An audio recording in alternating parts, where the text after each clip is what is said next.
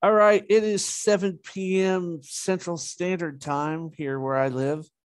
It's been very hot this week, and we've got a couple more days of these 86 degree days that turn out to feel like they're 97, and then we turn off and we go to a bunch of days where it doesn't even get above 77. So I'm so ready for uh, you know just having better weather and stuff like that. So, welcome everybody. Tonight we're going to be talking about ceremonial magic and the Golden Dawn. And the aspect that I want to deal with it is, is for one, I'm going to make a couple things known first. One, I'm no expert. I'm not Regardie. I'm not any of these people before me that kind of brought everything out. So on that side, you know, it's just I've been. This is something that I've gone through oh my God, since I was in my 20s. I've never been with a, a lodge. Uh, here where I live, finding any kind of ceremonial lodges is kind of hard. You have to go to the larger city centers like Oklahoma City, St. Louis, um, places like that. And it's just like I, if now with COVID and everything, I just wouldn't have the wherewithal to travel, you know, so many times a year to do things with the lodges and stuff like that. So everything that I'm doing is stuff that uh, that either I've done with other people that we weren't ever working as a quote unquote lodge, and also the idea that um, what we're going to be talking about tonight, and eventually I'm going to do other things with this as well.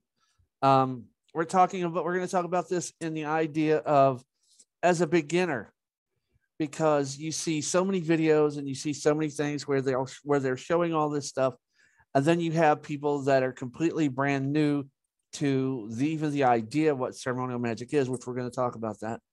Um, but they don't know where to start. They see all this stuff, and then you know they do little bits and pieces, and they don't get as far as these people that have the resources and things are. So this discussion is going to be on the on the ideas of everyday people can have access to what this is. It's not just something that are for those that have, you know, the money to set up a lodge and do all these things. This is for everybody. But before we do that, being summer and me being pagan, I'm going to open a bottle of mead. So if you have a favorite beverage, go ahead and get that and get going as we get this started. This is homemade. It took me 10 weeks to make. It is red raspberry and it's beautiful. Here in a couple days, I got a friend of mine who went to a charity auction and he uh, won a collection of Old Forester whiskey. Every type of Old Forester whiskey he won. He won one of each of those types all the years. And the one that he said that they say is the worst, but it's still good, is the Old Forester Black Label. So he's going to be coming here in the next couple of days and bringing me that. So not only do I have this mead, but I'm going to have some nice bourbon.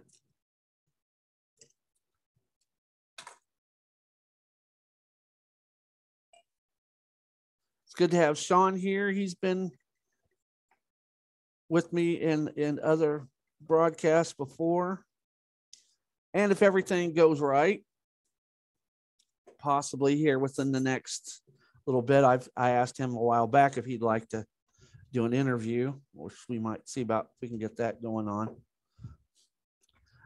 Okay. All right.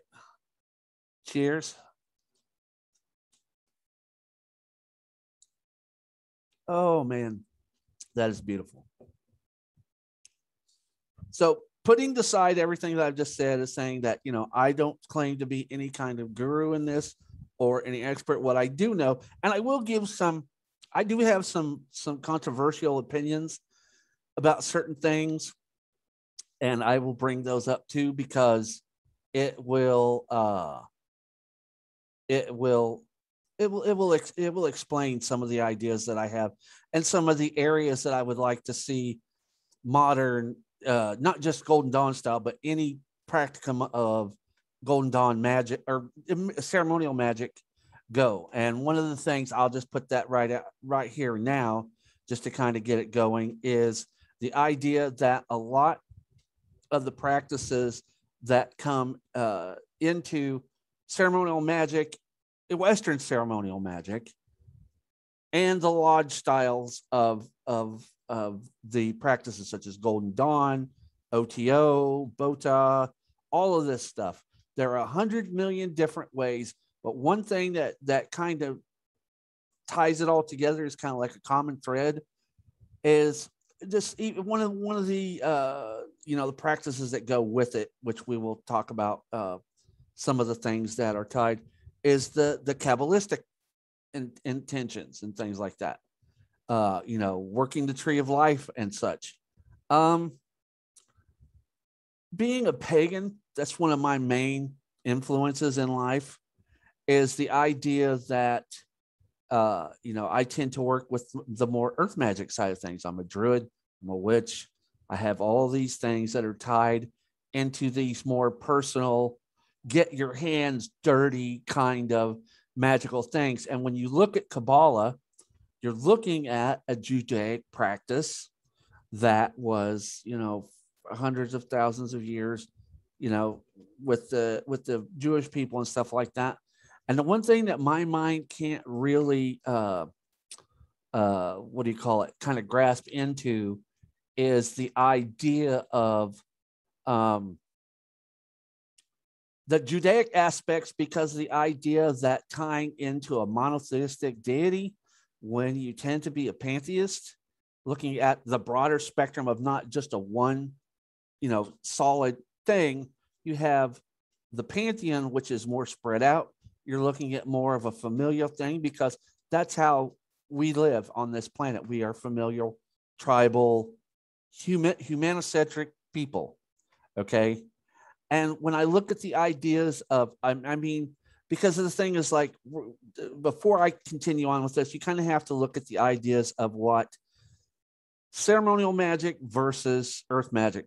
Okay. Earth magic uh, is purposed to deal with our lives as they are now, how we deal with things from day to day, whether it's our health, it's whether it's our circumstances in the world and stuff. That's why we have healing salves and we have spells for prosperity and all these different things because that's what we're working with. We're working with kitchen table magic. Ceremonial magic in all its forms, whether it's, you know, Golden Dawn or whatever tradition, is you're kind of looking at not just the kind of you're not looking at the magic where you're getting your hands dirty per se it's the idea that it's a spiritualized form of looking connecting yourself to everything else it's not an idea of what you're doing here it's like i call it pre- preparatory magic because of the fact for those of us that are believers in you know past lives um, moving through. Uh, I'm one of those believers that as you go through your many incarnations, eventually you're going to stop. And when you do stop, the reason why is because you've reached perfection. You have nothing, the universe says you've got it. You've learned everything that you need to learn. So here you are. You're, you're one of us now.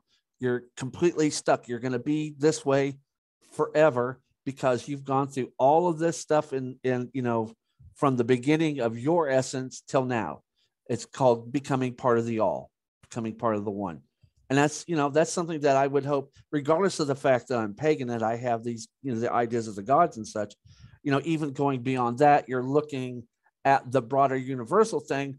And that's what ceremonial magic in a lot of its intent uh, tries to you know tries to convey.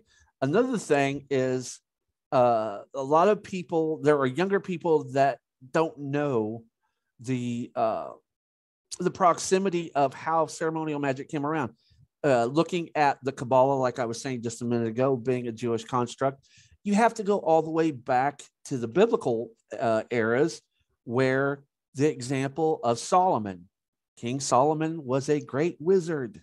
He was a magical person he was one of those that consulted the witch at Endor um, and all these things. So when you look at that context in the Old Testament, way back in, in those times, if, if, you know, if that time can be codified, you'd see that, you know, right in the midst of all of that, you had the two thorns and, uh, you, well, actually you had three thorns, actually. You had the idea that Solomon was a ceremonial magician, that he consulted the witch of Endor, which is supposed to be against the commandments and against God. And then also just looking at the way that the books were written, and it says, you know, I, I can't remember the exact verse, so forgive me, I don't have a Bible to quote or anything. But there was always that adage of thou shalt not thou shalt not suffer a witch to live. So all the way back in in those times, um,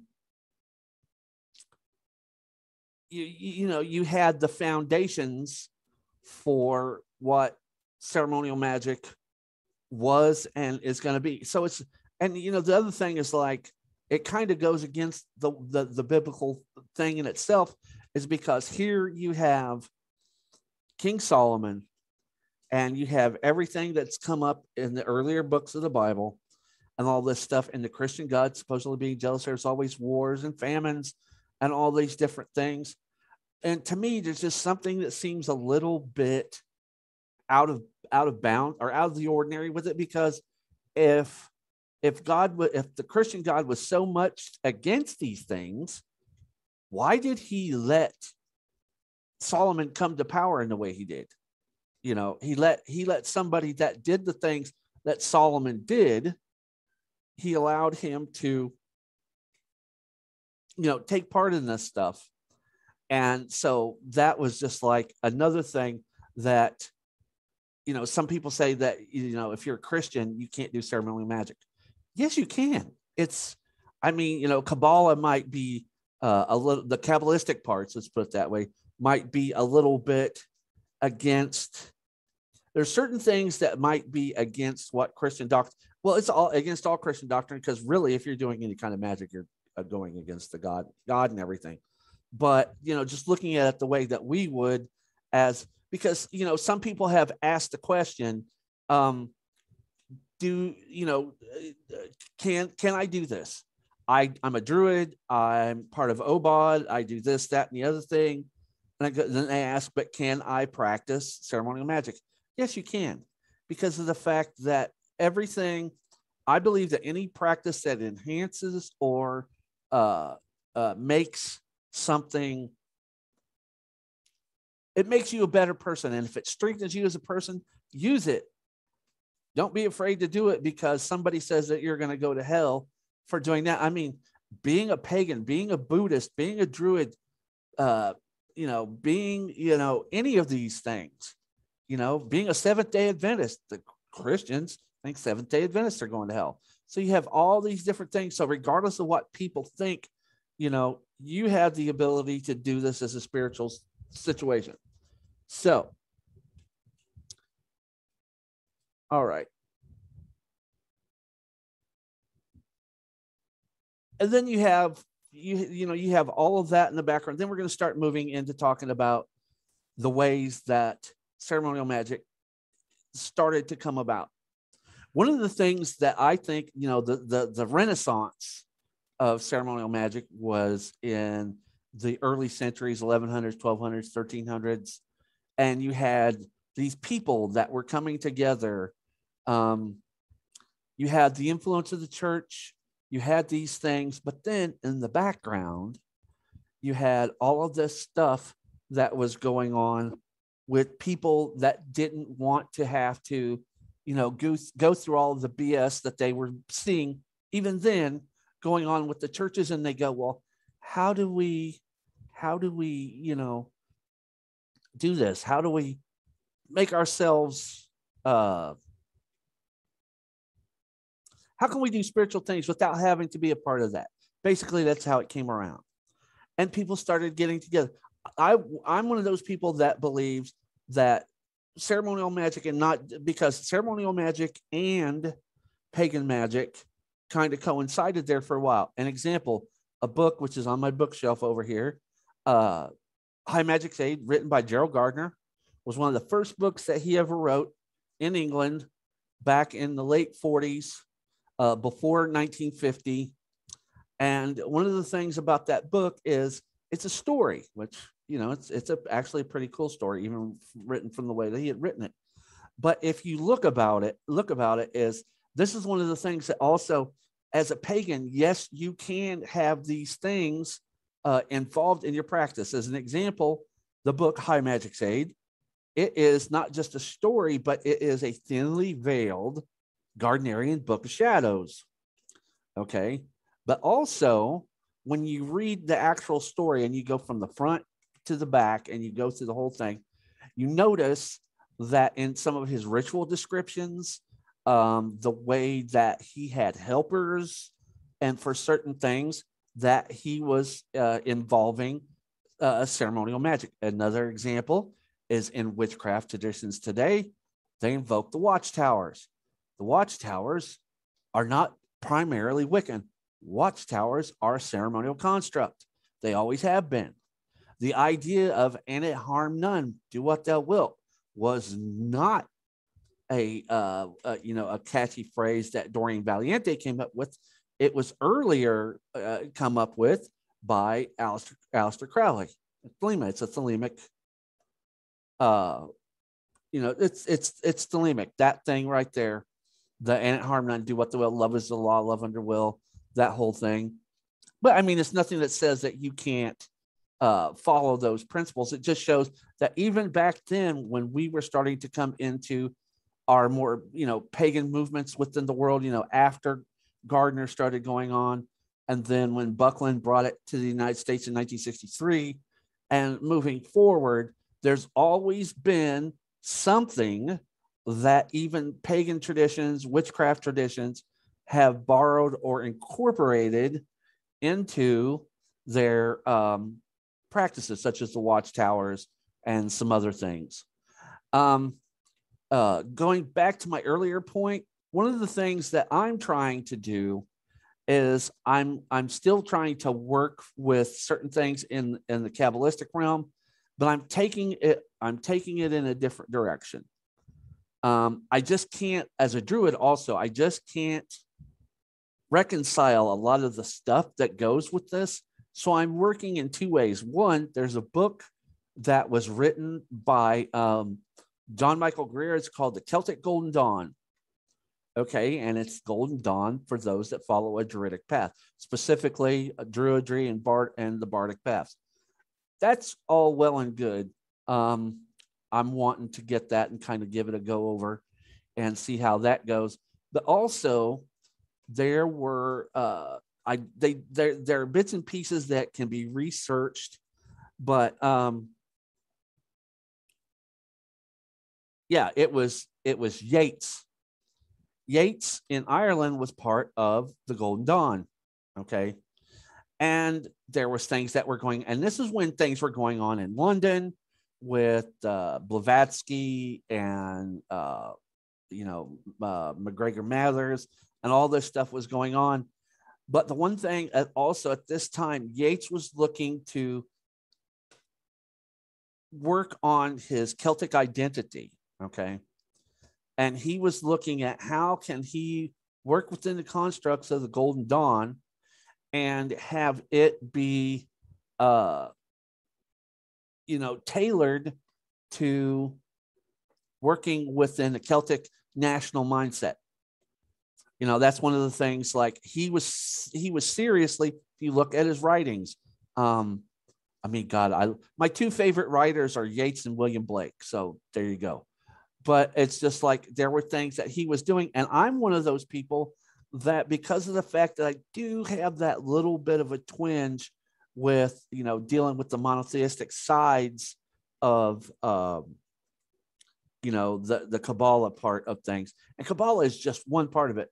Uh, we'll get into talking about some of the other practices such as goetic stuff uh, you know just all these different things and one thing tonight we're not going to be talking about the specific actions and how to do those things, that's a whole another series of about 20 different episodes. but it is something to get you started. That's another thing. Tonight is for the people that don't know about these things. It's a way to get started for yourself. You know, figure it out how you want to do it and and do it. So one of the things that I've got, and I don't have a giant library, but what I do have, and this is just some stuff that I'm going to uh, recommend that if you can get it, um, find it. One of the places, the best places that you can find some of this stuff is either on uh, eBay, eh, cringe, but still can be found, Amazon, uh, some of the more uh, well known occult booksellers. But the first set of books, one thing, well, one of the main things that I love about the ideas of ceremonial magic is that one of the things that is always kind of centered within what uh, you can do with ceremonial magic is the tarot. Tarot is one of the most important things that are tied to the Western ceremonial practices because this is a pictorial key of ceremonial magic. This picture right here, that's the magician and his weapons, his tools of the art. And whenever you look, well, let me just find there's one specific card that I need to find here. And uh, as an example, on the we have a page on Facebook, Golden Dawn Study Group, and in that study group, I've been recently going through the uh, of the Tree of Life, and we are currently up to the fourth Sephirah. And one thing that you'll notice is for each of the Sephirah, there is a corresponding uh, tarot card. Of course, uh, with Chesed being number four, it's the fours. Whenever you go to the top, the very first Sephiroth, it's the ones. Um, so you have the first one, two, three. You have the supernal triangle. So you've got ones, twos, threes, and then you've got some corresponding uh, face cards as well. Let me find probably the most ceremonial card and you'll see what I mean here. And there are many decks out there. Um, one deck that I recommend that I'm going to be getting here pretty soon is the uh, Golden Dawn uh, uh, Tarot Ceremonial Magic. That one. And I also actually like the uh, deck from um, uh, the new deck from Lon Milo DuQuette. And there's another deck that is, yeah, there you go. Man Smart. Is that the new, is that the new edition? Yeah, because that original edition, there's a green box that goes all the way back to the very first one that Lon ever released. And it was many years ago. And there are places that that Pacific deck is selling for 1500 bucks. The new one that just released a month ago, three and a half weeks ago because he's got a, actually it came out whatever at the most it's going to be like 40 bucks i think or close to it and i don't know how much the book is you have the book usually you have to get the book separately and i think the book is uh i don't know like 35 or something like that where you at buddy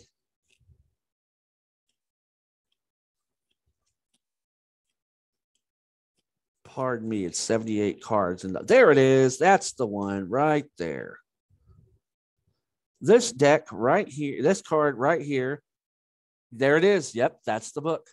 This is the uh, tarot card, the High Priestess.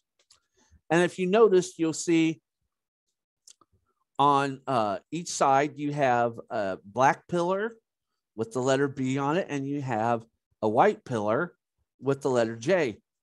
And what these are, these are, and then you have the high priestess in the middle. So you have the three pillars of the uh, Kabbalistic Sephiroth. You have the pillar on the left is the uh, pillar of severity. Then you have the middle, middle pillar, and then the white pillar is the pillar of mercy. Why? Because Chesed the fourth. Uh, Sephiroth is the Sephiroth of mercy. And this deck right here is not going to be as much as what uh, Sean's is, but Sean's has a that's a beautiful deck. I would take very good care of that because that's something that you want to have for many and that as well. Yes, sir. Um, but this deck right here runs about 11 bucks. Sometimes if you get it on sale at your local occult store, they I've seen them as, as cheap as seven, uh, uh, seven or eight bucks. Also, if you want to have fun, you can get the ones that are like five times the size.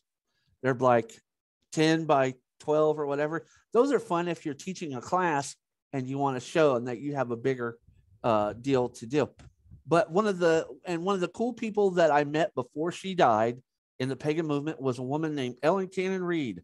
She's a Kabbalistic witch, and she wrote these two books The Goddess in the Tree and The Witch's Tarot. And not so much the first book, The Witch's Tarot, but The Goddess in the Tree is where we get the idea of how pagans can incorporate Kabbalistic practices without being so tied into, uh, you know, the whole, you know, that whole outer world of, you know, what the Judaic side, Judeo side uh, tends to bring with it. Then, just to find out, because we're not going to go over the all the history, but what we'll say is that a lot of the uh, lodges and things that came along were in the 1500s, 1600s, all these different times, and you get and you got people that came out of it like Madame Blavatsky, uh, S.L. MacGregor, Mathers, all these people that were the kind of the linchpins about getting things started. And one of the first things that I ever got, one of the first books that I ever got is this, and it's called What You Should Know About the Golden Dawn by Israel Regardie. Actually, two books that I didn't bring up here because I don't bring them out very much is uh, Garden of Pomegranates and The Middle Pillar. And they're actually, the copies are in pretty good shape.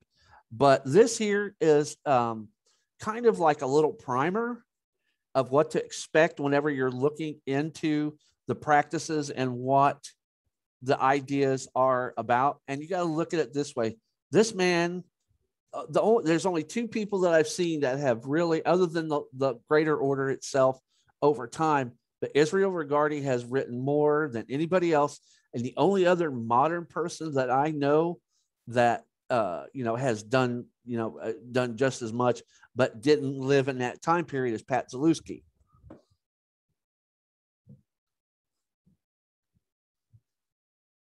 And then we look at some of the places that uh, the Golden Dawn got its uh, some of its work out of, and that was the Rosicrucian side of things. And uh, it's very fascinating. One of the more, uh, you know, just there are some things within Rosicrucianism, just within the stuff that isn't directly tied to the Golden Dawn tradition, that if you really take a look at it, there's some of it that will blow your mind.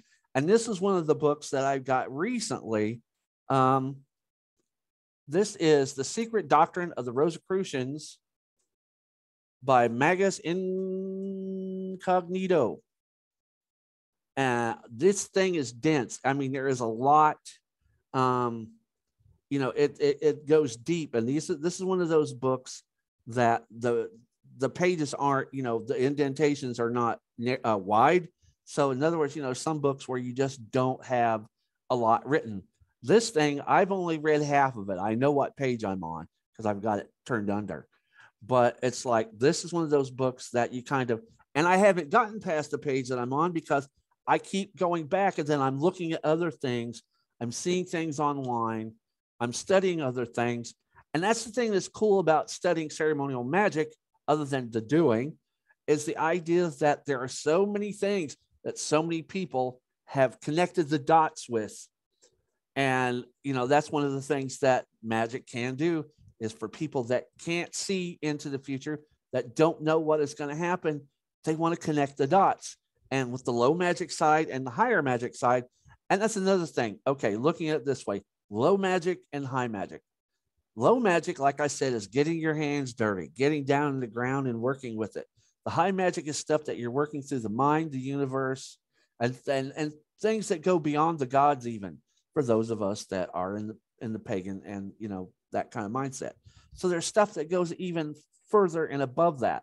But the one thing about it is, is whenever you're looking at it as a, a fresh perspective, it's you know everybody's like, what do I do first?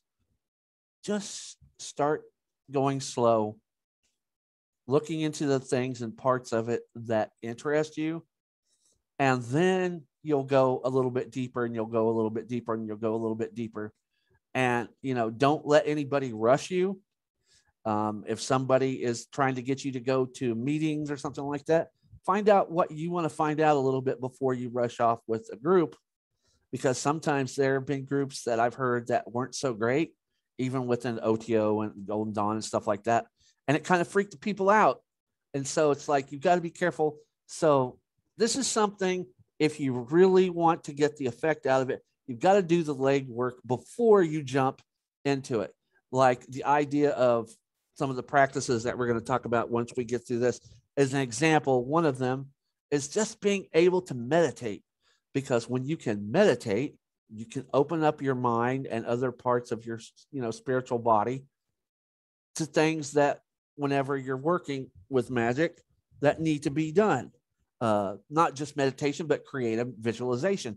That's one of the biggest aspects of of you know ceremonial magic that people should you know flex the muscle as much as they can.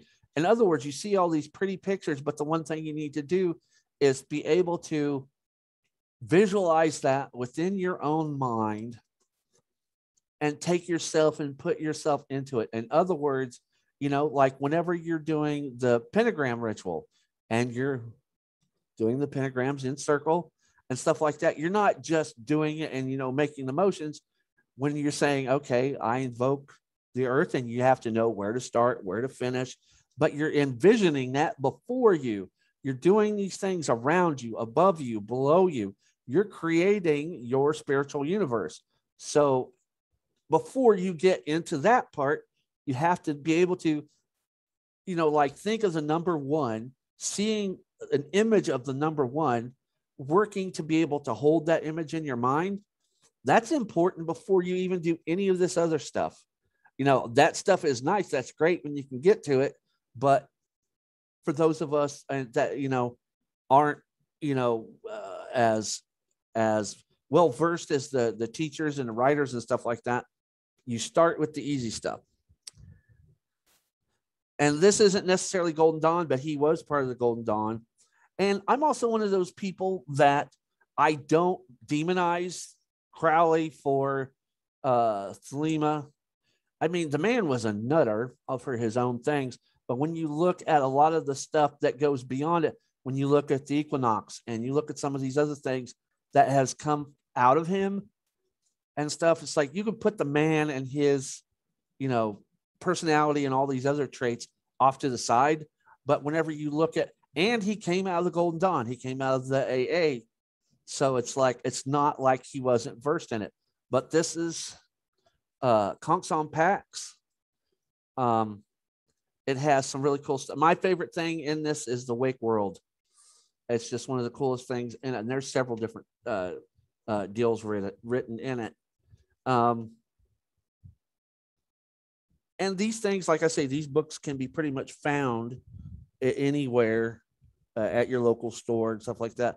Another book that I've only gotten recently. This is called the Book of, Book of Secrets, Esoteric Orders and Holy Orders, Luminaries and Seers, uh, Dynamo, uh, Dynamics and Rituals, and the Key Concepts of the Occult Sciences Through the Ages and Around the World by Danielle Pineda. And a lot of these books also, um, I used to be an occult book reviewer for Red Redwill Weiser, and this is published by Red Redwill Weiser. So a lot of this stuff I've had, you know, as uh, keeper copies, but it's like, you know, this one is kind of a little bit of a how-to book. Um, talks about certain uh, ceremonial symbolisms, uh, the secret chiefs, different things. It's kind of like a uh, dictionary, just a little bit with the other things added into it. And at the beginning, before everybody started showing up, I was talking about the idea of, well, also we, we think of the Hermetic sciences. We think of Hermes, the thrice great, the, the emerald tablets, and all these different things. Well, one of the things that came out, you know, whenever Hermetic thought was starting to get really big, uh, you not just in, you know, 1400s, 1500s, stuff like that, but in the modern world that we live in, this is the first book I ever got. And this is the Kybalion of Hermetic Philosophy by three, initiate, three initiates. And this was where I was talking about the idea of returning to the all. That is in here. The idea of polarity, the idea of, you know, plus and minus, all these different things, as above, so below. That whole kind of thing gets its uh, uh, germination, if you will, from here. All right, let me take a drink. It is very hot tonight. I think my apartment's almost 90 in here.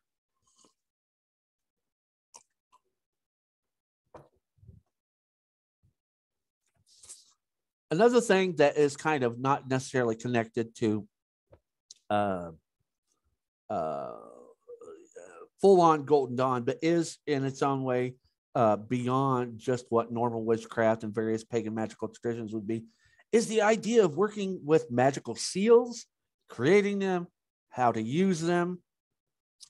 And I got this book given to me in 1990 Secrets of Magical Seals by Anna Riva.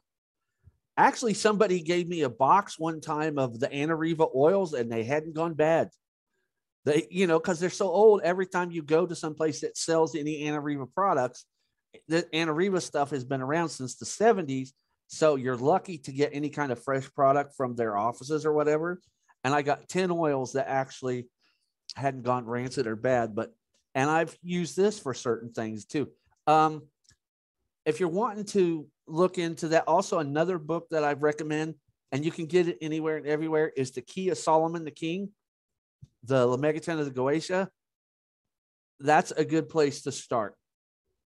You may not be able to work with anything right away, but it can give you ideas and it can it can give you that's the one thing. Everything that I'm telling you tonight is not stuff for you to like just do right now, but it's things that are going to knead it together and bring ideas into your mind so that you know how you want to start. Because I've seen in so many of these groups, that's another thing that makes me feel kind of bad as you see in some of the the, the Golden Dawn Hermetic groups on Facebook. You have people that are crack bang new to this and they go in there and the very first thing they ever say is can somebody help me uh you know figure out how to do this can you tell me a book can you tell me about somebody that knows this and i've seen so many of them go well you don't need to know about that it's like they're putting them down for their spiritual choice. And i like your pillars in the back by the way. I see your uh the pil- pillars behind you. Did you make those? Uh i need to get I need to get the stuff to make mine. There's a there's there is a book called Teachings of the uh, Inner Teachings of the Secrets of the Golden Dawn, and basically it shows you how to make that stuff, how to make all of the thing. The only thing is making the the fire wand, and the, I might be able to make the cup, but some of that stuff I don't have the woodworking or metalworking tools to do it, and there are kits to do it, but I don't want to do it from a kit. So I'm going to wuss out eventually and probably uh, get a hold of an order that makes tools and you know puts them out there. The, the Ciceros themselves, when they're not writing books and going around doing it, I think they both make ritual tools and they sell them. But at least they're making it somebody there that's making them for people that are that can be a part of the order for them to get. But so this is a book. This is going to be hard to find. Um,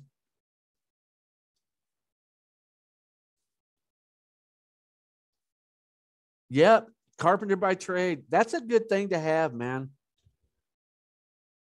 All right. So the next book, and it's kind of sad the man passed away this year, but this is something that isn't necessarily tied to um, Golden Dawn, but it there is a lot to learn here, and this is mono, mo, modern magic 11 lessons in magic high magical arts and this is by donald michael Kraig. and there's also modern sex magic. Uh, he was very much into tantra and sex, sex magic. This book right here cost me a dollar. Got it at a yard sale. And it's like there are a lot of things here. There are a lot of the one thing that I like is he tells you how to make the tools here also as well. Like here's an example. I can get it to show. There we go. That right there is the fire wand.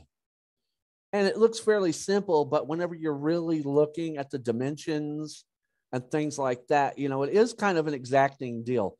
I'm one of those people that if I have a magical tool, I'm not going to have something that's so crappily made because then it, it it's kind of like it goes against the idea of what you're doing for the ritual. An example of that also is the idea whenever God said that he was going to flood the earth, he told them, I want you to build the ark a certain way down to the exact measurements. Um, and then he says, once you get done, then you go and get the animals and all that stuff, which we know the story. But he just didn't say, build it how you want to. If he told them how to build it how you want to, it would have never gotten done and they all would have been flooded out. But this is a very, very, very, very important book. Um, uh, also, another book that's just kind of, uh, uh, how would I say it? Pivotal in certain areas. And I've got it put up. I haven't brought it out. It's a book called Ladder of Lights by William Gray. Okay. And then what I'm thinking about doing is we have the Golden Dawn Study Group group on Facebook, which if you're out there, I highly welcome you guys to come along. Sean recently came along and we're starting to get, excuse me, starting to get a good little number. But for anybody that can, when people tell you like the idea that only a witch can initiate a witch, it's the same way in, in ceremonial traditions. Yes, you can travel and you can go and you can take the grade uh, rituals with an order, whether it's in St. Louis or if you go to one of the lodges in California. That's all well and good. But the idea that you can't do it by yourself is a crock of crap, for one thing, because, you know, this book's been out for a while and one thing that I've done is I've I've skimmed this whole thing. I haven't uh, tried to work through the grades because there's a lot to work to this, even with the grades and stuff. That's why another thing is like this book right here. I haven't even really started to get into it because there's things that we need to do to prepare ourselves to, to understand what this is. Like I was talking about with meditation and some other things, which I've got next to me right here that will kind of you know bring it all into to focus but this right here i got this i don't know about five or six months ago and this is something this is one of the first things that i recommend that you can get another one is uh the black book the complete golden dawn system of ritual magic and that was written by uh Regardie. And I used to have the black cover, but now they got hard bounds. They've got new editions of it. And I think Sean's got it. And I see that he probably, yes, that's it, the black cover. And that book can be had for $30 on the low end. And I've seen rip-off artists try to sell it for 300. Don't pay 300 for that book. Not not one little bit. But this right here was like $40. So that was actually a good deal. So you've you've gotten this little bit of an idea of, you know, that that you know high magic is useful for us. Um it's it's something that that is like the fortifier of our spirits and the, and our you know, our legacy because we have an energy i call it our legacy everything that follows our physical body all of that stuff that we've done for people you know on the good side and on the bad side. You know we have that following us well our legacy follows us. And that is an energy unto itself but it's like you know we have that side that we haven't never worked with. And that's another thing about people is they get scared of high magic they go oh my gosh uh what if i do something? Is it going to set somebody's house on fire three towns over? Anything magical regardless of whether it's pagan or high magic or whatever or solitary or however you're doing it prepare yourself. Learn about what you're doing. If you don't think that you can handle it, don't do it. Wait, try it for another time because, you know, if you have that little bit of doubt, that's the one thing it says loose lips sinks magic. That's what they say to know, to will, to dare, to keep silent. To, to know, to know what you're doing, to will, to have the wherewithal to do it in the first place, to dare is to now that you have the wherewithal to do it, to get out there and to do it. And then after all is said and done, don't be braggadocious about it. Keep it to yourself, except for the people that know the situation and stuff, that's fine. But just trying to be grandiose with it and putting it out there, um, you kind of want to, you, you don't want to do that because the universe looks at you and goes, well, that's that's kind of crap. Why are you being that way? And all the spiritual work that you've done, um, it's like, you know, it, it, it's it's it's a uh, fallback. You know what I mean? Um, so we have that now. So the practices, as an example, one of the next biggest things that I think is important and, and people don't realize okay, so we talked about the tarot. You have the ideas for your tarot decks. There are other types of divination that you can do. And in further episodes, we'll talk about that and stuff. But it's okay. You've learned that the tarot is an important part of high magic in its various instances, too. Now you have to look at the timing for things, the way that you do it. And one of the biggest ways to follow all of that stuff is the seasons of the earth and things like that but also working with the astrological. And this is one of my favorite books, the George's eight new A to Z horoscope and uh, and uh, maker and delineator. This won't help you do a whole chart. There's a couple other things that you have to do to be able to do a chart, but even not just the idea of doing charts, but the idea of looking at the ceremony at, a ritual, okay, and you've known whether it's uh, uh, the LBRP or the uh, you know the star ritual or the star ruby or whatever, there are things that if you really look at the overall language and writing, it's there's things that are astrologically written within it that give you clues about why the ritual is this way. There will be things that are astrological that are mentioned, such as the constellations, you know, whether it's, you know, uh, Ursa, the Ursa Major, or these things, the dog star, and all these different things, because there's stuff that it's not high magic tends to not just think about the things that we ha- are have here, the heavenly bodies. That's why you have the idea of the archangels um, that are used in certain uh, ritual things is because of the fact that it, like I say, it goes back to that monotheistic, beyond the Judaic type of thing. But this here is something not just for high magic. I believe everybody should uh, be conscious about uh, things astrologically.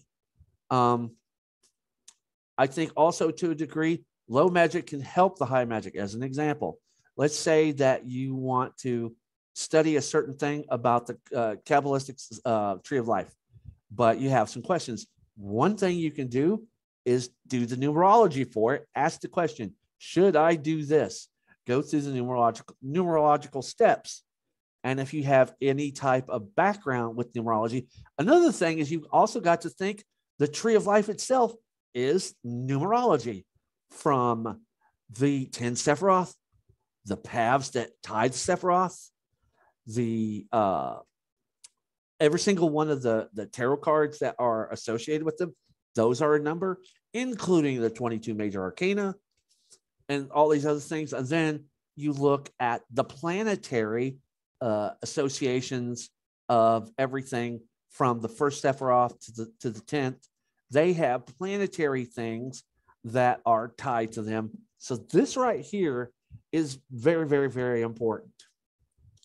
Um, and there's places you can start. There are groups on stuff. I'm sure if any of you come into our Golden Dawn group and you have a question, Sean or me or anybody that has kind of a grasp on what you want to know, we can actually, I put a couple things in here recently about some astrological stuff. I think it was actually last week. So there's some stuff that I put there uh, recently.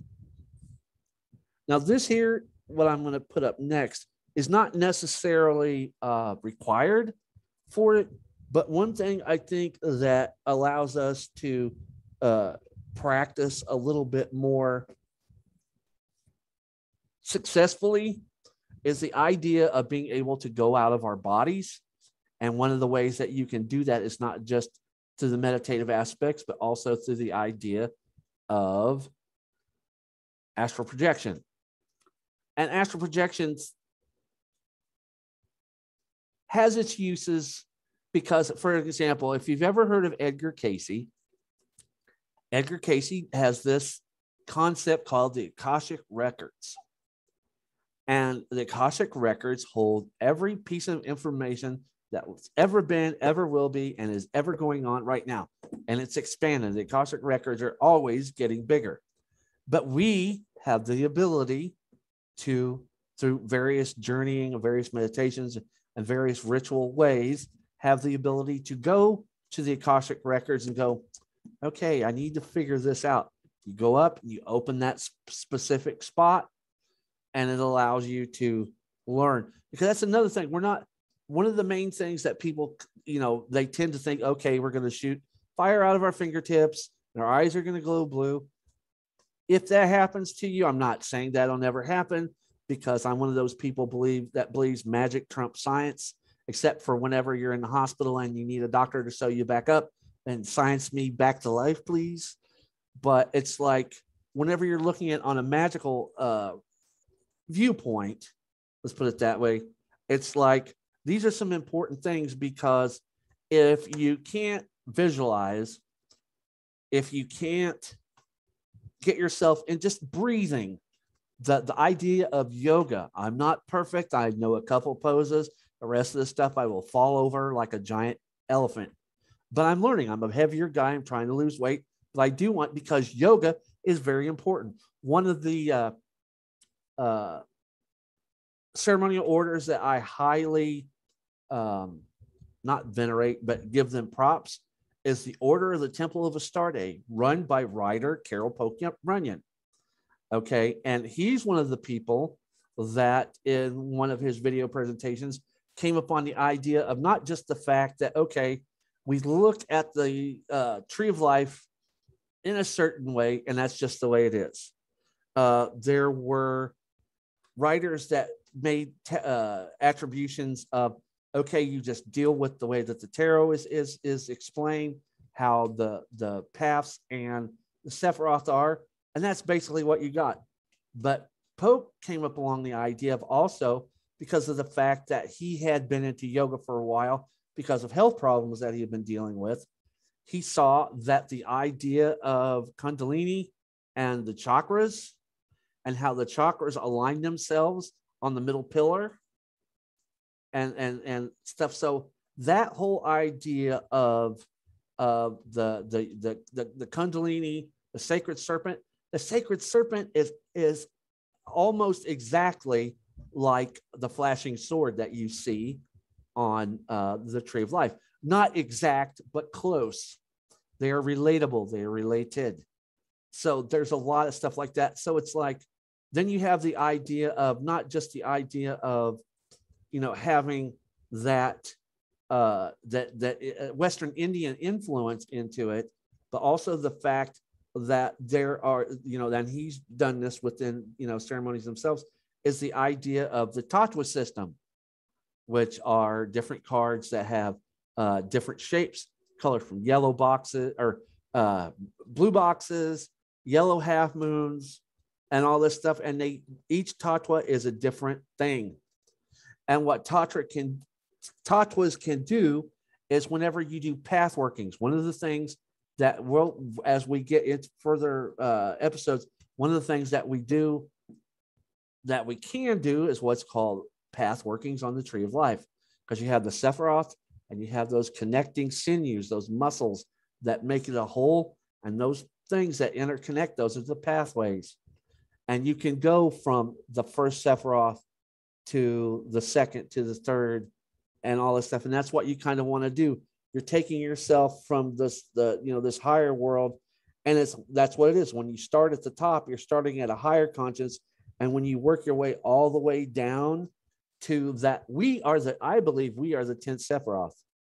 We're all of it, but when you really look at it, where it starts with the first, and you go through everything, and you see how the paths connect. When you get down to the tenth, we are the tenth Sephiroth. And that's why we go through that working. That's what we're bringing that down into us. We're bringing us the ability to work with not just in the Golden Dawn system, but work within, you know, BOTA and OTO and all these different things is because and goetic magic and stuff like that is the idea that it's it's something that is we're adding it we're it's we're adding to our soul. I believe that we can build like karma wise our you know our background and all that as we go through each incarnation when you work with these things and i believe that it's like kind of like a destined type thing is because a lot of people just don't go out one day and go well i'm just going to start studying ceremonial magic there's a reason for it and i think there's things that we may have seen or we may have heard or we may even have felt that brings us into this that's why I'm a druid. And it's another thing. Don't let people tell you that you cannot work within multiple multiple fields, as it were, of occult occult study. That's what occult means: hidden knowledge, the hidden, the secret, that which can't be seen. That's what occult is. So, if you are a Buddhist, Druid, ceremonialist, witch, you can do that. You can do all of that stuff because some of that stuff, if you really look at it and take some of the things that are for your inner self, and then the witchcraft and druidry and the other things that you can do that help the people that are around you, it's all synergistic. And people don't realize that. Well, they think, you know, that pagans uh, pagans are only going to dance around fires and get muddy and dirty, and ceremonial magicians are going to stand in uh, rooms with giant golden braziers full of incense, wearing purple robes and all this stuff. And we do do that. We do do a lot of that, what I've just said. But it's not, it's, we're not the stereotype. And there are one of the best places I think for people to start to is if you can't afford to get books and things like that, because with COVID and all this stuff, people have lost jobs and different things. So there are resources. If you're watching me here on Zoom, there are resources that are out there you have the Hermetic the Hermetic Order Golden Dawn, their actual website. You have the OTO's website. You have BOTA's website. You have just about every major uh, every major magical order has their websites. And the thing that's good about checking them out is most of them at the top will have a section called resources and library. Some of them will tell you what books that you can get either from them or go find around the web. And others will have PDFs and others will have essays and stuff. That's why you'll find a lot of stuff by Pat Zalewski and some of these other writers and stuff, Christopher Hyatt. And another thing is for those of us that are in the dualistic realm of being druids and working in uh, you know ceremonial magic, one of the most esteemed people within the thing, and it's just like his writing style just kind of grates on my nerves a little bit, but the man's a genius, is John Michael Greer. And any of his writings on ceremonial magic, whether it's his stuff for uh, the Golden Dawn itself, but also uh, the the Book of Merlin that he wrote, which is a, a book of ceremonial rituals for druids and stuff, and then the one that I'm I haven't gotten yet, but I'm hoping it kind of ties into that stuff that I was talking about earlier is the Celtic Golden Dawn, because I'm wanting to see where Greer ties in to what Hyatt's been, or not that that uh, not Hyatt that uh, Yates had been talking about before uh, you know he you know went on. Because I'm one of those people. I follow the my tradition of Druidry is a uh, Irish Celtic um, pantheistic Okay, so the difference between what I do and what OBOD does, OBOD tends to be more philosophically and spiritually druidic, which we're all spiritual, but they are in a different realm. They are pagan, but they're not as pagan as what, like, say, ADF and Red Branch Druids and BDO and some other groups do. So you have the hard, more hardcore pagan side of Druidry, and you have the philosophical side. And if you really look at it, there were elements of the OBOD way back in the day before Philip Carr-Gomm took over, and it was ran by the original chosen chief of the OBOD, which was Ross Nichols. And Ross Nichols was uh, uh, Druid Church of England, the Church of England, the Druid Order of England. Um, a little bit, he had a lot of ceremonial le- meetings, leanings, but uh, the Book of Druidry by Ross Nichols, it's a gold cover book. It has a lot of stuff in it, but also he had stuff that kind of tied into the Celtic Culdee Church. And once he passed, and he ended up passing the reins on to Carr-Gomm, which now Carr-Gomm does not run OBOD. It's a lady, and I can't think of her name. She's nice, and she does tea with druids. He has a, a pod, uh, like a little podcast that he does every so often on Facebook and on on the OBOD channel, and he has her, and she is the new chosen chief of OBOD. Matter of fact, Carr-Gomm is one of those people that believes that you can mix things, and the idea that he came up with a tradition called tradition called Druidcraft, which is the mixture of Druidry and witchcraft. And it's like, if you really look at it, if you peel the layers away and you go back to early society, yes, uh, even in even in the Irish side of things, okay, you have the Druids that were the ones that uh, you know kind of gave the told the chiefs what to do, where to go, how to get the wars going right, and all this stuff. They were advisors and things. So you have that upper echelon cast of the tribe that that particular uh, uh, leader had. Okay, but then you have the people that were under him. So it's not just like the place is just swarming with druids. You also had witches. They were called midwives. They took care of the women. They took care of the, the children that would see demons in their heads at night. They were the ones that, you know, that would, uh, along with the seeresses and stuff, they would come into a person's home when they were when they were getting ready to pass to the other world, and they would speak into their ears and tell them it's okay, be prepared. You're about to go to Tirnanog. They would talk you through your death. They would welcome you into the other worlds. And that's some pretty high magic there. When you start working with the, the necromantic type of things, and I'm not talking about raising zombies from the dead, I'm talking about necromancy, working with this world and the other world. That's high magic too. That's another thing that is kind of tied into uh, it's, it's not a direct correlation, but there are certain rituals within the Golden Dawn, certain rituals that are a generalized form of Western ceremonial magic that can tie into this stuff. And uh, it's it's not something that you just do every day. There are prescribed times and things like that. But it's like as you're doing this, it's like you grow. And one thing that I recommend, I'm sure Sean's probably got it, and, and other people that have worked with him, keep a notebook. This, like for high magic, I, I think everybody should keep a notebook for every type of magical practice. And I'm not talking about your grimoire. I'm not talking about the book that you just write your rituals in. I'm talking about some kind of little hardbound thing, lined or unlined, that you can make for only taking notes on everything about things that you're studying, questions that you have. Let's say that you that you try to uh, there you go, ritual diary. Um, uh, it's the idea of you know you can learn from your mistakes. So you write stuff down.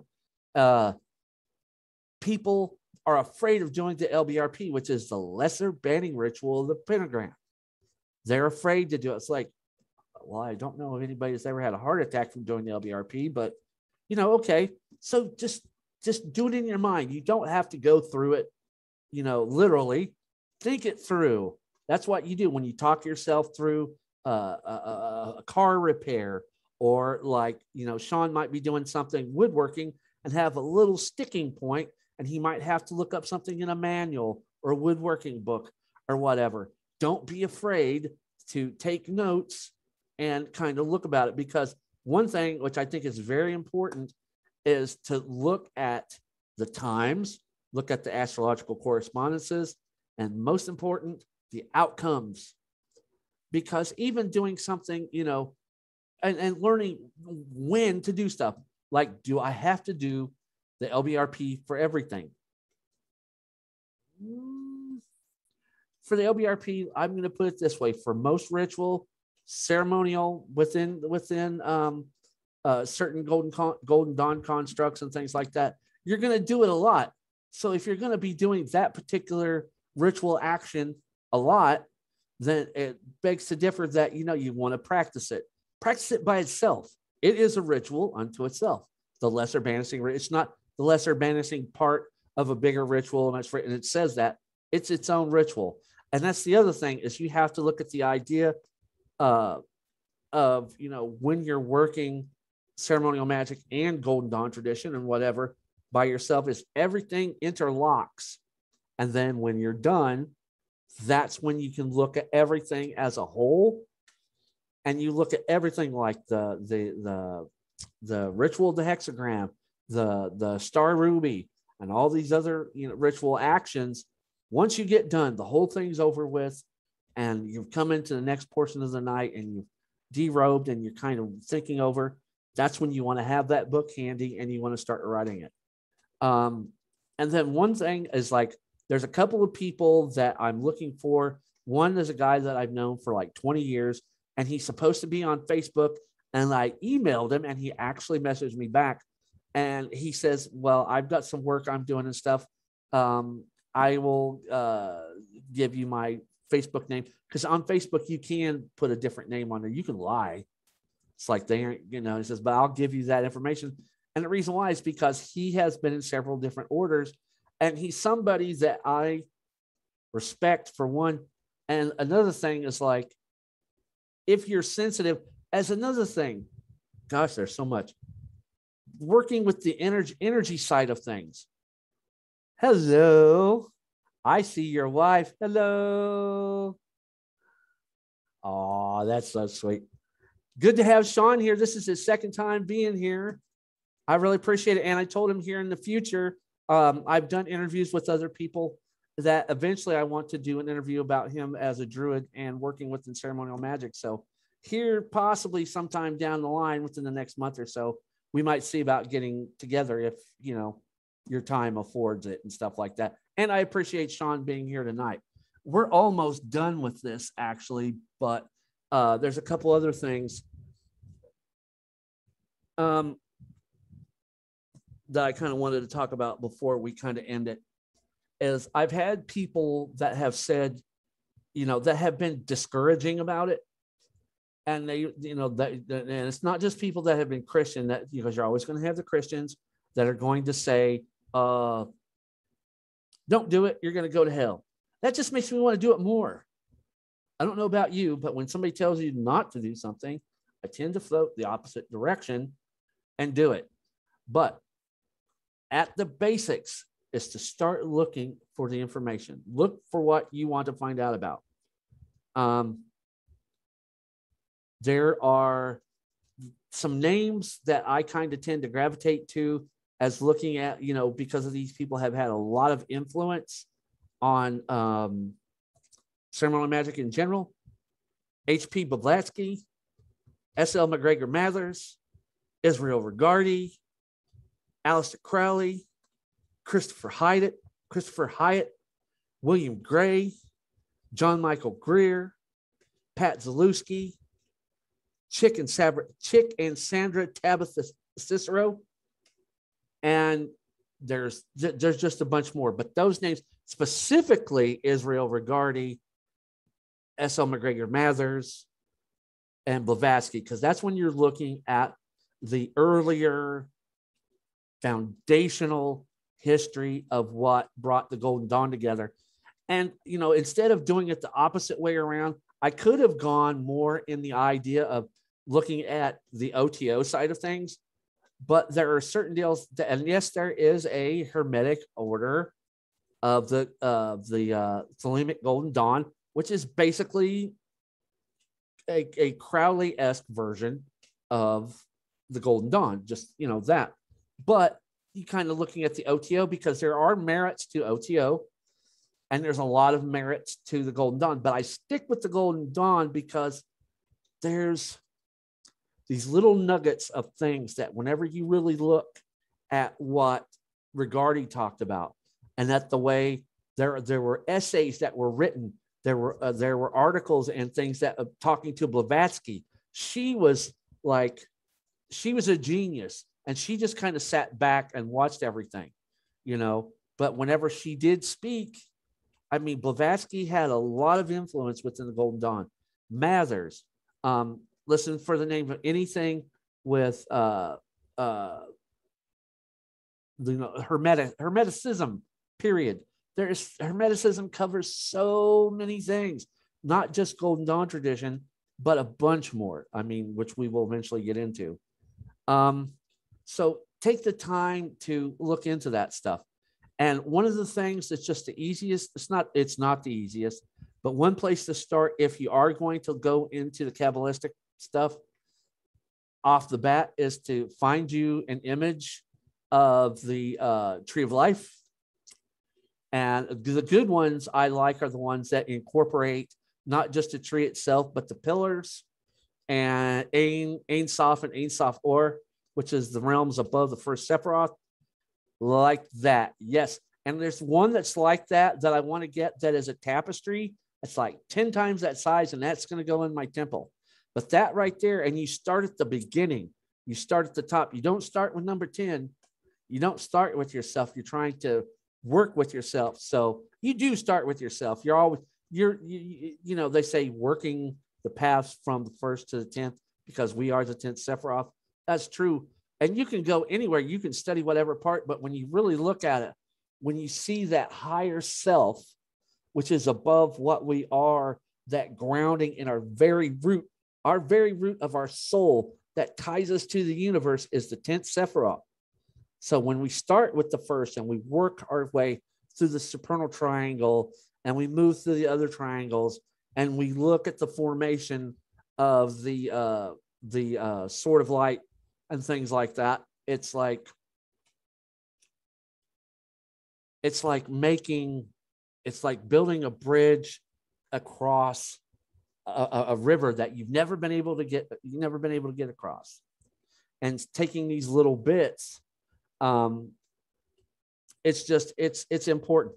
Learn to breathe. Breathing you wouldn't think about it but you know breathing there's a lot of kundalini type things and that's when you work that energy that comes from our lower selves that shoot just shoots out if you do it right working with energy is important because if you ever do become part of a uh, an order or group or a lodge or whatever, one thing is everybody that's together in that ritual, they're adding their energy to what's going on. And if you're the low man on the totem pole that doesn't really know how to work with energy, you can be that that uh, ground when you put the ground wire on on your car and it sorts everything out because you weren't the one that was you weren't charged up. You didn't have yourself in the right spot. So that's another thing. And that's another deal is the idea of like i'm trying to lose weight. I'm trying to be more health conscious because magic when it's people that are sick sickly and all these different things if you're not exact not you don't have to be 100% healthy like a triathlete and stuff but the better shape you are the better conduit conduit you are of any kind of magical energy, whether it's pagan, low magic, or high magic. But whenever you're working the LBRP, whenever you're doing the visualizations of the pentagrams, when you see the pentagrams flaming before you, when you're charged up, you can see the pentagrams flaming before you and above you, as above, so below, as within, so without. And that's another thing you kind of have to take not just the ideas of what the ritual is, but looking at the um, the spiritual concepts, because high magic is not just about ritual. As an example, looking at the uh, the the uh, artwork for the for the tree of life, you have three pillars. You have the pillar of uh, of You have the middle pillar, you have the pillar of severity and the pillar of mercy. Those are actual concepts that deal with us. You know, that, you know, mercy and, uh, you know, there's each one of the, the Sephiroth have their own, like, um, oh, what would I call it? It's not the first one. Is it's the, I think it's the second one. Second one, Binah. And my pronunciations of some of these things are is horrible, but there's ones that is like the one of the words that you watchword for it is worth. It can be a monetary worth. It can be a spiritual worth. It can be how much you feel and esteem, how much you're worth uh, to yourself, to others, and things like that.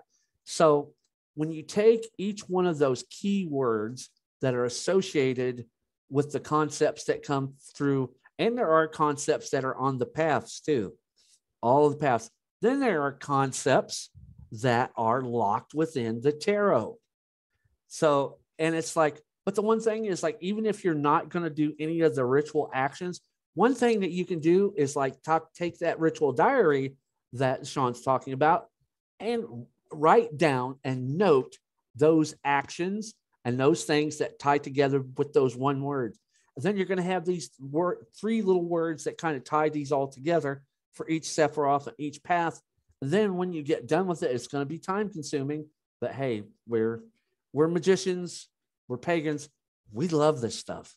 I don't know very many uh, of you know even ladies I've known that just well I've gotten this I've known women within the, the Golden Dawn that's just like you want to see my library and their whole house is ceremonial magic books and things that are related. I'm going, your husband doesn't mind, does he? And she goes, nope, he takes me to go get these, you know, that kind of thing. So it's like, and what I want to do with the next time that we get together, and I might do this next week, it might be another week after that, but we're going to start talking about how to get into it in the beginning some of the practices, some of the visualizations, um, and some of the symbols. So I'm probably going to learn how to do the shared screen on this because I'm not that, you know, that savvy with a lot of this. And I'm going to bring up some of the symbols and things that you might see, a lot of stuff that Sean's probably got there with him that are related to various ceremonial practices, various, various ceremonial orders, such as the Rosy Cross, such as the uh, triangle and the cross that was uh, on the cover of the Golden Dawn Ceremonial Magic Tarot right there. Yep. There are things that those mean, that there are there are meanings and symbolizations behind those. So we're gonna kind of go through that and um, kind of help you guys kind of learn uh, you know, how to do some of these visualizations and things like that. And I might even stand up and demonstrate the LBRP. It's it's not that hard. It can be depending on you and your proclivities and how proficient you are magically. It could take a few minutes, but what I'm doing is like showing you. And yes, there are there are some great uh, demonstrations on YouTube, but I think you know this is something that we can show for people. Um, and it's it's not daunting. It's not overly now, the greater banishing ritual, which, yes, there is a greater banishing ritual, is a little bit different. Um, and some of that. And then uh, towards the end of that, we'll kind of get down the line. And one of the things it's going to get a whole episode to itself, a talk to itself, is we're going to talk about Goetia. We're going to talk about Solomon. And we're going to talk about uh, some of the actions that are kind of linked in with goetic magic, um, the angelic things and stuff like that, how that all comes together, and uh, making it as easy and as you know compacted as I can. Because, like I say, I talk pretty much down at street level. I don't come at you with big words and stuff like that, and I bring it out as as much as I know. That's why in the future we're going to have Sean do an interview with me, and I'm going to post that on YouTube because I want to get his insights into a lot of this stuff because Sean's been involved in this for many years now. He's a druid and he's involved with you know various aspects. So I think he has a little bit of a understanding about the things I'm talking about and can give you guys some ideas about what it really takes to do some of these things the dedication that it can take. But, you know, it's like, it's not just the idea that it's a dedication that you have to do this stuff, it's the results.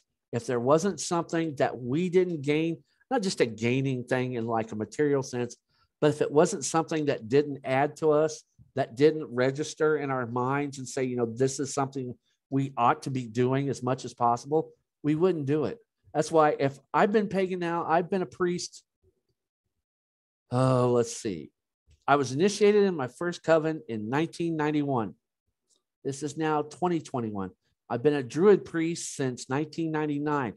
I that's when I had uh, first got hooked up with the. Henge Keltria was going through some trouble, so in 2000 I formed the Order of Standing Oak, and recently I formed a, a Saxon group here called the Raven Temple of Seax Wicca, which is based on Raymond Buckland's book, The Tree, a book of Saxon witchcraft, the original from 1974.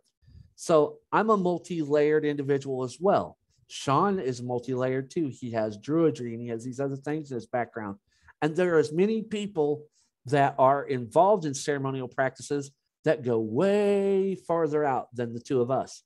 And you know what makes that so cool is if you ever run into those people and you have a conversation and you know and you think there might be a question that they might have an answer for or a, idea or a thought about something, don't be afraid to ask because that's going to give you that's going to give you the ability to have uh, a, a greater understanding as you move forward.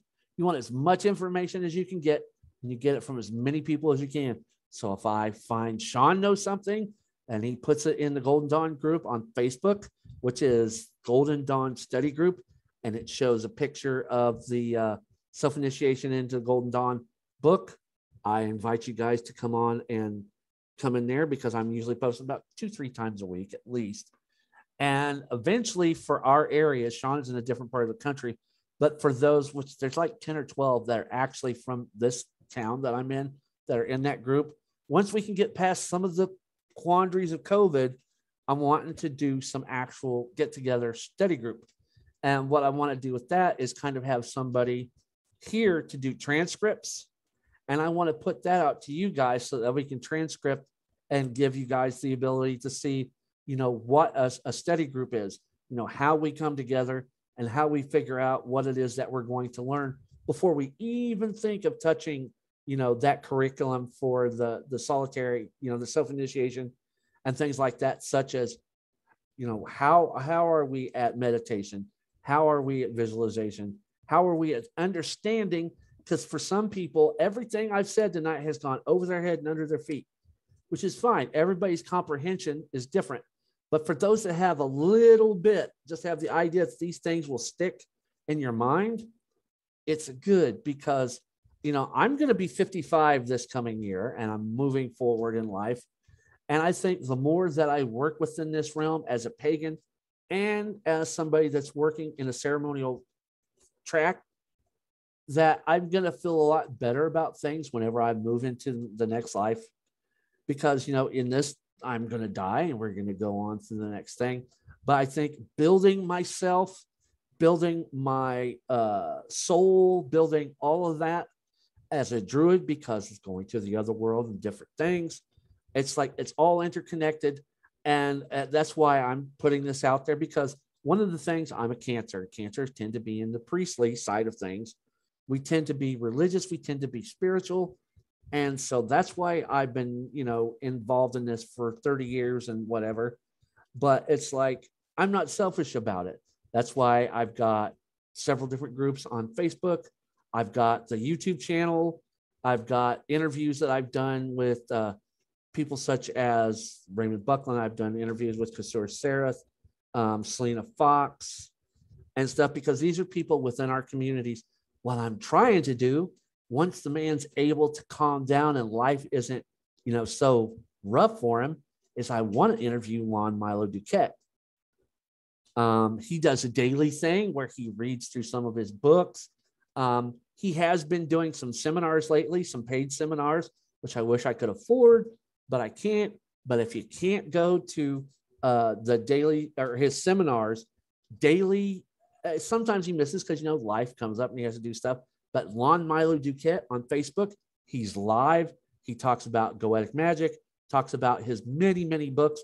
And uh, as far as uh, one of the things that I like is he's big on tarot, of course, that's the tarot that, that Sean has, but also um, he's done some video series. And one of my two favorites is uh, The Great Work, the series that he did on The Great Work, which I have every, every put it this way, every Lon Milo Duquette video, I have it, and I have it on this computer that I'm talking to you on. I have the disc, but I've said I don't want to have to go get the disc every five minutes. So I just load it onto the drive. But the great work. And then there was um, a, a video that he's done strictly on Goetic magic in his home, which was just incredible. And then another one, I can't think of the name of it, which I'll have to uh, put post in the liner notes because this is going to go on on YouTube.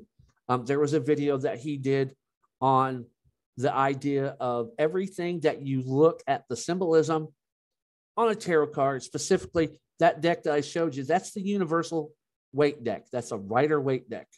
And Rider Waite is kind of like the standard. There's hundreds of thousands, but whenever you think of tarot, the Rider Waites are what you think. And then you have the BOTA deck and you have Lon's deck and you have all these others because they have different things that go with it.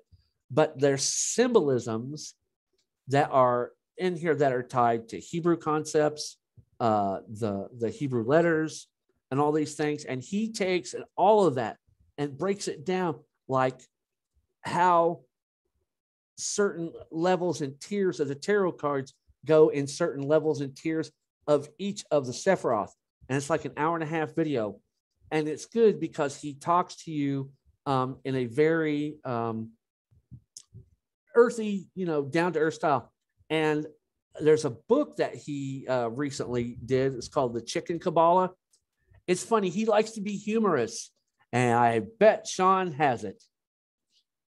I love you, brother. He's going to go straight to his thing. And he has it. He has a copy. Oh, he has, uh, well, what's the two that he's got there? He's, I know he's got the chicken Kabbalah. Yeah, the chicken. Oh, and son of. Okay. Okay. All right. Yeah, because I didn't, I forgot that he had written a uh, sequel to it. But yeah. So, and he's got some books on Goetic magic he's actually been writing since the late 70s. So when you look up the name Lon Milo Duquette, you're gonna find a lot of stuff. Oh, and um, one book that I highly recommend for everybody because it's like a catch-all for everything that can kind of give you ideas about some of the things that you're going to study, and that is the Magician's Companion, put out by Llewellyn Books, written by Bill Whitcomb and it's about that thick. It's probably about as thick as the Golden Dawn book. And it's not Golden Dawn focused, but there are things within this that are tied to it. And it's like that must have in your library, uh, which I have over there. It's in my stuff. So this is just a little get together. I just wanted to get people together that have had, you know, what is this about? Where can I start? What are some of the books that, and I don't have everything. Good God, if I had everything, my apartment would be full to the ceiling and I wouldn't be able to sleep in my bed. There's just that much out there. And it's another thing. Everybody will tell you this, and I'll tell you too. Don't take my word on any of these books that I've told you. Look it up, look into it yourself. And if you see something that kind of doesn't jive, don't mess with it because all you're going to do is make yourself wonder why you're doing it. As an example, for Druidry, the two books, that I do not recommend the most is The Sacred Cauldron by Tadhg MacCrossan. I just don't. There's just something about that book I don't like. And of course, The 21 Lessons of Merlin. Because the dude who wrote it is a misogynist and a tax dodger, and he's on the run. So, and it's just like, you know, you know stuff that is a little bit more legit, and you know bullshit. And unfortunately, to me, the, and I've had people that have, you know, that have kind of argued with me on the MacCrossan book, but nobody has argued with me on the 21 Lessons of Merlin. It's just, it doesn't fit. And there are going to be certain books within uh, the uh, ceremonial magic world that don't fit. So if it doesn't fit, don't use it. But another thing before we shut this down, one place that I recommend the most because you're going to find about 150 to 200 different things that you can probably get the full books on uh, for the OTO style, BOTA, Golden Dawn. It's called the Internet Sacred Text Archives. It's huge. I've been looking through that thing for 30 years and I'm not even close to being done with it. You know, and that's just that's just skimming to read everything in the Internet Sacred Text Archives because you have pagan sacred texts, you have Indian sacred texts, you have Vedic, you have Nordic, you have all this stuff, and then you have the ceremonial side. But if you look at the the the archives itself, it tends to be more lean towards volume wise in the ceremonial magic. I mean, there's going to be two or three hundred things, uh, and that's not just books. You're going to find essays and connections to collections because there are certain ceremonial writers that have stuff that are put in certain libraries and things like that that we may not actually have access to. So we're only going to get to see snippets and essays and dissertations of some of these things. But it's like you look for everything, you look for every little nugget because if it helps to turn that light bulb on and what we're going to do, um, I think it's important to get all the sources that you can. So I'm going to take another little drink. I hope everybody's had a great night. I want to thank Rhythm Bar Farms. I want to thank Pam. And I want to thank people that are listening out there. If you're muted and I can't see you in the list, thank you guys. And we'll probably, if the holidays and things don't come up too hard and getting ready for Samhain and stuff, we might try to do this again for this discussion here in a couple weeks because I've got some other things going on. But Sean will see it because I will post it in in the Golden Dawn group and some other stuff. And Sean might see some of my stuff because we're friended on Facebook. But you know, so we're we're not gonna like cram all this together because I've got other things that are coming up. But I just want to take this time and you know give everybody some things to think about as far as you know uh, getting together and you know just learning a little bit, just taking the time to sit you know say this is where I stand with my thoughts about ceremony magic. And like I said, there were some things that I disagreed with within it, and things and realms, like I've said, I want to go in the more druidic, Celtic, some of the ways that John Michael Greer has written about, and what I'm wanting to find with Yeats, because once you can reconcile those things together, it it just it just makes more sense. So I want to say good night, Sean. Thanks for coming and hanging out. Pam, be safe, be careful. Rhythm Bar Farms, I appreciate you and everybody else that's on here. I'm going to go ahead and shut this off, and I will see you guys around. Have a good night, everybody.